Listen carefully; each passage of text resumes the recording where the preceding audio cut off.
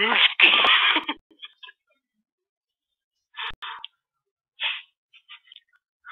Don't go back to for Dave Oil Squire.